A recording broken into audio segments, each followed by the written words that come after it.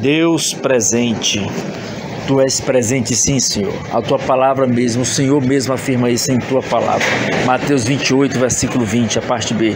Ensinando-vos a guardar todas as coisas que eu vos tenho ordenado, e eis que estou convosco todos os dias, até a consumação dos séculos. Tu estás conosco em todos os momentos, em todas as ocasiões, em todas as oportunidades, em todas as situações. E nós estamos aqui, ó Pai, crendo nesta mensagem que o Senhor relatou na tua palavra e acreditando que a tua palavra palavra também diz em Mateus 18, verso 20: Porque aonde estiverem dois ou três reunidos em meu nome, ali eu estarei no nome dele, estarei no meio deles. E o Senhor se faz presente aqui. Somos mais de dois nesse momento, ó Pai. A clamar, a rogar em teu nome, a pronunciar que neste nome há poder, neste nome existe autoridade. Foi no teu nome, ó Pai, que Cegos abriram os olhos, mudos começaram a falar, surdos começaram a ouvir, paralíticos, aleijados começaram a se locomover. Foi pelo teu nome que mortos ressuscitaram. Foi no teu nome que milagres, prodígios e sinais foram realizados.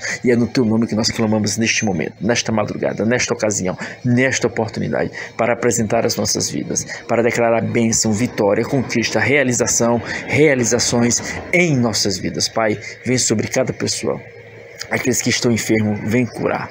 Aqueles que estão doentes, vem sarar. Aqueles que estão passando por situações difíceis, vem reverter. Tu és aquele que ainda faz. Tu és aquele que ainda realiza. E é na autoridade do nome de Jesus que nós declaramos e decretamos vitória, bênção, vitória, em nome de Jesus, pelos olhos da fé. Vitória e bênção, em nome de Jesus.